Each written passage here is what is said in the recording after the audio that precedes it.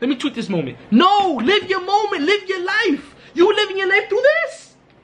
What time and I just gave you a whole bunch of teasers, but now this is it. This is the channel. I'm gonna have my four pillars. I'm gonna have my Muela motivation. Today, another dollar, another opportunity to make a well, chef boy, your boy, chef boy, your mom. What's on Perfect. your plate? What's on your plate? I'm gonna have my Muela fitness. You put it in this work, man. It's hard at first, but once you get the weeks going, once you get the days going, your muscle starts. My Muela business. Companies are stupid. Stop selling to people. Nobody wants to buy when you sell to them. And under those four pillars, I'll have like little segments like subconscious with more my life as someone that's broke, grinding, as an entrepreneur, grinding, dying with the cops and this, and it's just so much negativity going on that we need a source of positivity. At least, at least if you could take five minutes out your day and watch